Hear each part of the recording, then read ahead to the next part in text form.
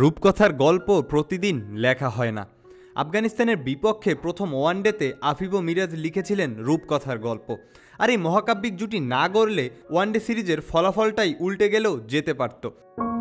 আইসিসির সুপার লিগে সবার আগে পয়েন্টের সেঞ্চুরিটাও ঝুলে যেত টাইগারদের। তবে বাংলাদেশের সার্বিক পারফরমেন্স যেমনই হোক, ওয়ানডে সিরিজ জয়ী দলটার নাম যে বাংলাদেশ, সেটাই শেষ কথা।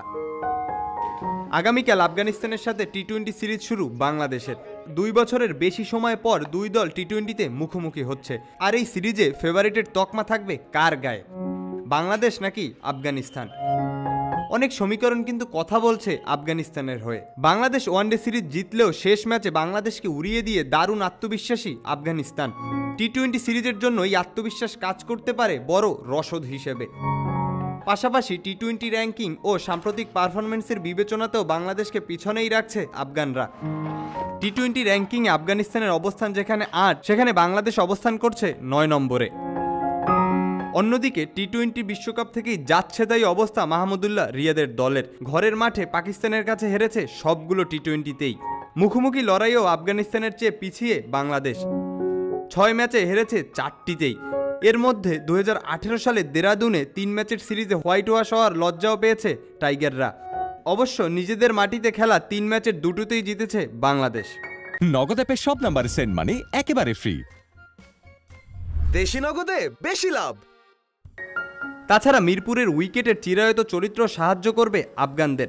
গত বছর অস্ট্রেলিয়ার পর নিউজিল্যান্ডকে স্লো টার্নিং উইকেট বানিয়ে নাকাল করে সিরিজ জিতেছিল বাংলাদেশ।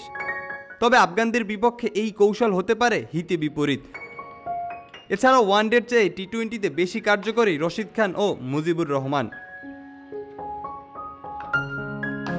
তবে আফগানিস্তানের দুর্দান্ত স্পিন আক্রমণের কথা মাথায় রেখে উইকেট থেকে স্পিন হাওয়া করে দিয়েছিলেন চট্টগ্রামের কিউরিয়েটাররা। গামিনিডি সিলভা কি মিরপুরে তেমন উইকেট দিতে পারবেন টাইগারদের?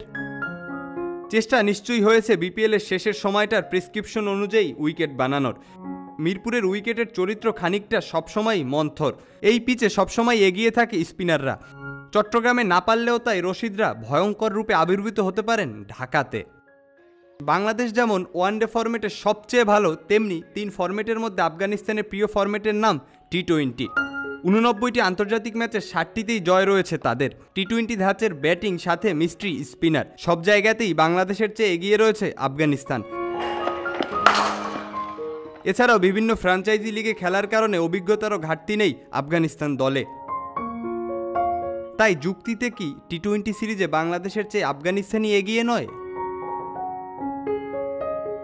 শাউন শেখ শুভ, ক্রিক ফ্রেঞ্জি